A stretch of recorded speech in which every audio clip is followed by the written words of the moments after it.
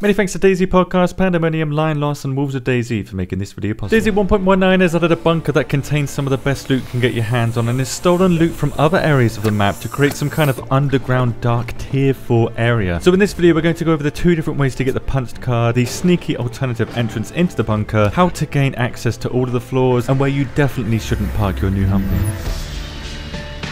In order to even get inside the bunker, you will need what's called the punched card, which will lose one quality level each time you use it to enter the bunker. This punch card is found in two possible locations, with the first being static gas zones. Five punched cards spawn per vanilla server, so finding one of these inside a static gas zone won't be difficult, but finding a gas mask and NBC gear to not die inside the gas might be. In this patch, the amount of gas masks that spawn has been increased by 40%, with the NBC mask being the best bet because it spawns in the same locations that you're going to be trying to find the yellow NBC gear, which is the firefighter and medical locations. Alternatively, the GP5 Giga Corona mask is found in tier 3 military locations, but the combat mask, the best mask, is now assigned the underground bunker loot tag only, along with a lot of other loot on Livonia, which we'll talk about later. Once you get your gear, head to the airfield in the north, which now has loads of medical tents as of 1.19, allowing me to find my card on the first attempt on a fresh server.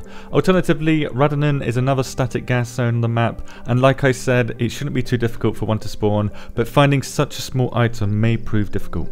The other method to get a punched card is to find one of the newly added military convoy dynamic events which works a lot like heli crashes do, found in these 14 locations on Livonia. If you're lucky and one of these military convoys spawn, a new infected spawns there called the convoy officer, distinctive for the hip holster that he flexes on us. In 1.19 this hip holster cannot be looted but the punched card has a 100% chance to be inside his inventory when he dies. Now that you have the punch card, you can make your way to the southwest of Livonia near Dambog here on the map. Keep your card protected as it won't work if it's ruined, and don't accidentally use it as kindling in a fire. These cards will be highly sought after.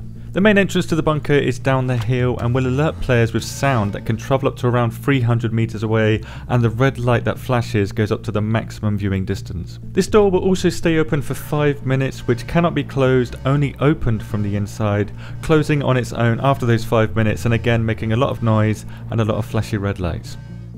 An alternative, sneakier entrance is found in the Dambog Tower with the card reader being at the very top of the tower and the door being down here. This door makes a lot less noise and has no flashing lights so is a sneaky way to enter the bunker and closes just after 10 seconds which is the main problem of this door. You need to have at least two people to enter this door because you need one person to activate the card reader and one person to go inside and then open the door for the person that activated the card reader. I did try to do this solo and you can see the results here. As an FYI, these switches don't require the card, so if someone is always inside the bunker and they can open it for you, you will never need the card, but you will always need a light source or night vision inside here. There's no way to turn on the lights. Regardless of which entrance you use, you will get to floor 1 as you enter, marked on the wall here, offering loot found in tier 1 military areas. To make it to floor 2, find the door that has a staircase leading down, taking you to this room, turn the blue valve and the water will descend and allow you to climb down the ladder. Follow the pipe along to the first ladder and this will lead you to floor 2. So you don't need any help from anybody to get to floor 2 and this will be marked with 02 on the walls, which will spawn tier 2 military grade loot. Now listen very carefully to this part, there is no way to enter or exit floor 2 other than lowering the water and climbing this ladder. And this water level rises very very slowly on its own, so if you take too long in floor 2 you will get trapped here. And I now know why drowning was added in this patch, because if you get caught in one of these pipes when the water is too high you will drown. If you successfully haven't drowned yourself and you want some better loot, head to floor 3 which has the best loot inside. So head back to this ladder, climb down into this pipe and follow the pipe into the next room which looks exactly like this one, but in this room the ladder is broken.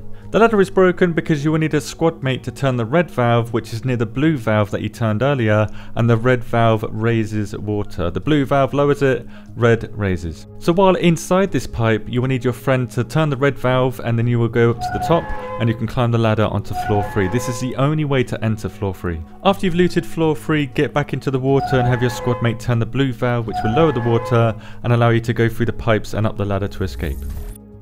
As I said earlier, each floor has better loot, which is now dictated by a new loot tag called the Underground Loot Tag and by a loot tier system too. So underground loot and a tier system. So floor 1 is tier 1 underground loot, floor 2 is tier 2 underground loot, and floor 3 is tier 3 underground loot. However, some items are what looks to be guaranteed spawns such as the AK-101 and the new plate carrier variant spawning in tier 2 or floor 2.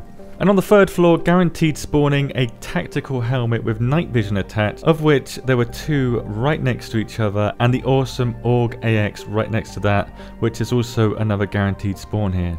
Now I don't know much about these guaranteed loot spawns, it's not a new thing for DayZ, but I don't know much about it as I can't imagine the AUG AX spawning in this location 100% of the time, but who knows, that might be the case. We might be able to get tactical helmets with guaranteed night vision goggles on if we manage to make it to floor 3 of the bunker. That might be the reward. Whatever the case, a lot of the loot has been removed from the Livonia map and sent to the tier system of the underground bunker instead, so all of this loot here exclusively spawns inside the bunker, along with a lot of other general purpose military items, giving absolutely monstrous incentives to not only go to this bunker and loot it, but to also maintain control of it.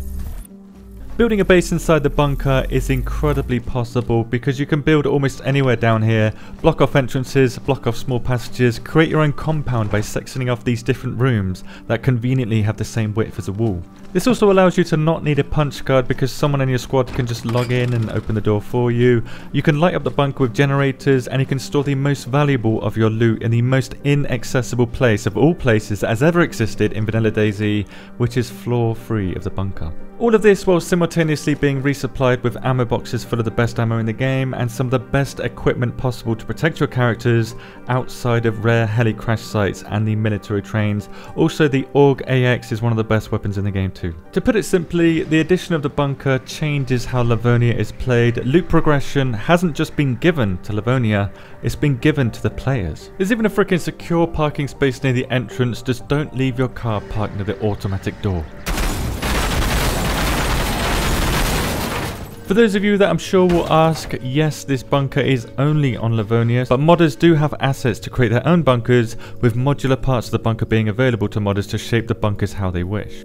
These bunkers can then be darkened with the dark areas potentially being placed anywhere on the map so we can have dark areas anywhere we want. And finally we were also given a keycard entry asset and a one-way door asset too.